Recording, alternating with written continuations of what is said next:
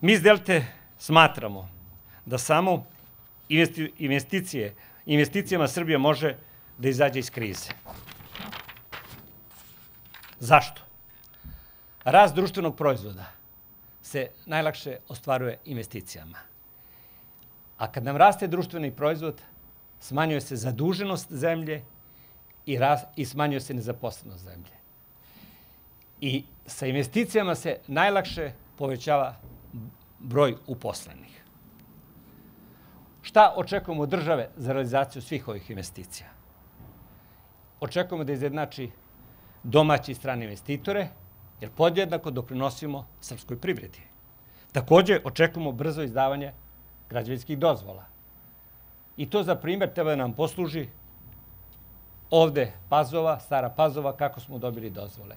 Neka nam to bude uzor šta očekujemo od države kad su u pitanju dozvole.